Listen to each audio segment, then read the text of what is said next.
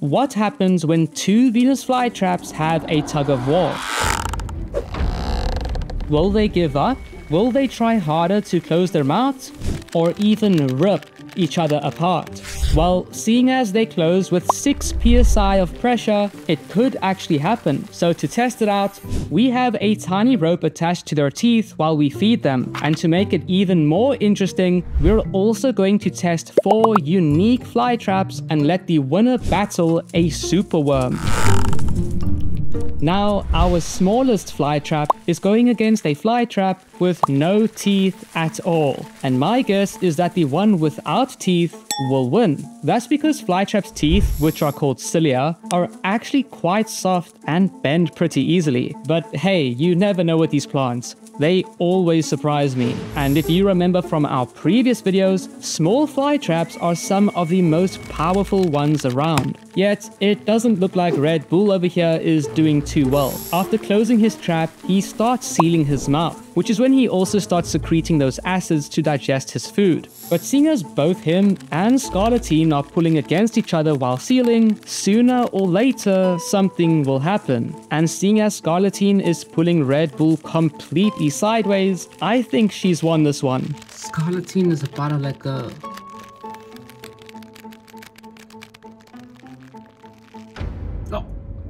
Happened. Wow, that's crazy. I know some of you might think I touched Red Bull, but I promise you I didn't. He is extremely powerful, so powerful in fact that even if he goes up against DCXL, the biggest flytrap in our collection, I think he would probably beat him. But seeing as my last guess was completely wrong, DCXL will end up winning or something. But to be fair, their tug of war is very close. You see, I did three tug of wars for each pair of plants, so that the results were fair, and so that I could show you guys the best footage. And for all of our plants, the results were always the same except for these two. Their first two tug of wars are a stalemate. After three hours of them pulling, my phone keeps running out of storage and nothing even happens. And it isn't until their third and final tug of war that we finally see a winner. Now, it is incredible to see how they literally pulled against each other. It even seems like they tug every now and then. Just rewatch that last clip if you didn't see what I'm talking about. But when it comes to this last pull, I think DCXL was at a disadvantage. I moved this trap out of the way so that Red Bull could pull without it stopping him. But that then means that DCXL can't pull to the left like we've been seeing, which basically gives Red Bull the win. However, that doesn't change how close these two are. He is evenly matched to Red Bull, even though he is like three times bigger. It happened and I wasn't even here. the small one won. That's crazy. But does being equal to Red Bull mean that he will also beat Scarletine? I mean, I've been wrong with my guesses twice now, but I don't think size matters. I still think small, sharp teeth that don't bend will win. I had really high hopes about the short, sharp teeth, but after seeing that, I'm really not sure. Now, it might not seem like it, but we actually need to feed our plants to do this tug of war. You see, these trigger hairs are how the plants tell if there's something in their mouth. So if it closes and whatever they're closed on doesn't keep moving their trigger hairs, they will just open back up because they'll think nothing is actually there. So not only does feeding them make sure they seal and pull against each other, but it also gives them a reward for all the hard work they're doing, even if I need to keep on putting these crickets back into their mouths. Stay. Good cricket. You can actually see that seal quite well in this tug of war, especially with Scarletine here. She closes up those gaps that are made quite easily, but just like her first tug of war, she doesn't seem to have what it takes. Regardless of how bad I want small, sharp teeth to work against the bigger fly traps. However, I might not actually be too wrong about short, sharp teeth doing well, because Harmony basically has claws. I swear, these things feel like toothpicks, and if anyone can win all their tug of wars, it's got to be her. She might even be tough enough to rip open Red Bull, who has been doing the best so far. Yet, seeing as DCXL just beat Scarletine, Let's see how he can deal with this deformed fly trap. That's crazy. That's like a hook. Looking back at it, I didn't know that this would be one of the longest and toughest tug of wars in this video. Of course, trying to feed two fly traps at once isn't easy and the ropes keep falling off, but once I fix that, we see some incredible movements from both of these plants. Harmony starts off well with a really big tug away from DCXL, and those claw teeth help her so much in keeping a solid grip. However, after an hour, she then starts to slow down. And of course, this is because DCXL has started to put his weight into it. He pulls her back to where they started out, and for the next hour, they just keep pulling the rope tighter and tighter. And after yet another hour, this rope getting tighter means one thing. DCXL's soft teeth are starting to lose grip. And seeing as Harmony has those claws, she is easily able to hold on with no problem at all and beat the biggest flytrap in this tug of war. Actually happened. Oh yeah.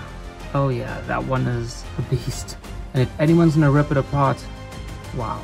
And seeing as Harmony has to be the greatest competitor in this tug of war, I can't wait to see her go up against Red Bull, who has won everything so far. But until that, let's see how she handles Scarletine, who has very similar teeth to her. That's gonna be a tough fight. They have very similar teeth. Now I must have had an aneurysm or something because I completely forgot that Scarletine wasn't doing too well over the weeks of filming this. But to be fair, this is probably her best tug of war. For the first time in this video, she actually manages to pull her competition quite a bit while sealing her trap, but because she moves upwards while doing it, that only locks the rope tighter into Harmony's claws. Harmony is such a beast. The way that she closes and those little teeth of hers, she's literally a cheat code. That is crazy. If we find a plant that is like able to match her, like you can see she's about to rip there. That's crazy.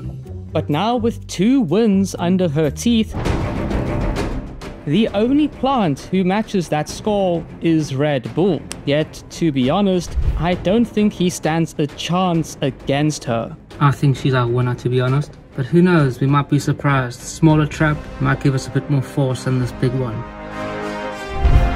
This time, I wasn't having an aneurysm. Red Bull is our smallest trap, and because of that, he has better leverage than any other plant in this tug of war. But seeing as Harmony has rock hard claws to get through, it will probably go her way. As we can see, Red Bull does an incredible job at pulling Harmony, but her low traps and tough teeth means that she barely moves, and therefore Red Bull starts turning sideways. Now, now, just like his battle with DCXL, if he holds on and does nothing, we could end up with another stalemate. But seeing as he isn't a quitter, he has one more tug at the rope, which spells his undoing. It's literally holding on by a thread.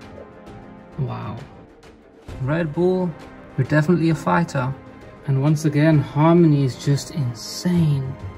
Wow. That is crazy. Now before we see if Harmony can hold back a superworm, Karen asked me a very interesting question. Seeing as none of the fly traps could hold back Harmony, so none of them got ripped apart, would she rip herself apart if she had a tug of war with herself? Well, luckily enough, these two traps are close enough together that I can put the rope on her and test it out. And guys, this tug of war is fascinating. From the moment this tug of war starts, this trap folds over itself Sometimes fly traps just do this, especially the fly traps with shorter teeth, but there is so much tension inside of this rope that the force of it is actually holding the edge of the trap open just enough that this side of the trap can slide down further and further, which only means she pulls harder. Yet, after a few hours of this, this trap stops because the other one starts to pull back against it. Now, this is obviously a stalemate, but this intense battle also answers the other question we had. She's actually like started to rip herself apart. Look at that. But even up here, it's it's been torn. You can see how she's already started digesting with these acids here. But look at that. This leaf is like half a leaf. Look.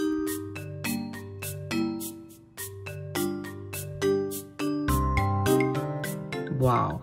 Now, seeing as Harmony is strong enough to rip herself to pieces, let's give her something to get all that used up energy back and see how she handles something as strong as a superworm. These guys love wriggling around and have very tough skin, but to be honest, I think Harmony will easily hold this guy back. Her traps close pretty slow, so this guy can move around for quite a while before anything really happens. But the moment those teeth reach his body, he is clamped in there and cannot escape. The first thing he does, like most bugs, is continue walking forward, or even try to push his way out. But seeing as those claws point inwards, he won't be able to get past them, which is when he tries all reliable, backing it up. This usually works for big bugs in most traps because their body is literally still sticking out of the trap, but in this case, those same claws are able to hold him back. In fact, even though this guy can get some of his paws out, they aren't strong enough to pull himself past Harmony's claws, which are holding him in. However, this is when I remember the secret thing that superworms have. I don't know if these are more paws or actually claws back here, but they use this to hold on to things. And in this case, he's using it to try and pull himself out. However, I don't think it is enough. I mean, even when Harmony was being pulled by every other fly trap, she barely moved. So I'm not surprised that this superworm can't escape. And like I mentioned earlier, the more and more he struggles to get out, the more he hits those trigger hairs, which means that Harmony only closes her traps tighter and tighter. However, as Harmony squeezes around his body, he's able to push against it and get his paws out of there. And in the end, our strongest fly trap still can't hold back one of the strongest bugs. Please consider subscribing and share this video with someone who you think might enjoy it. Thank you for being here, and I'll see you in the next one.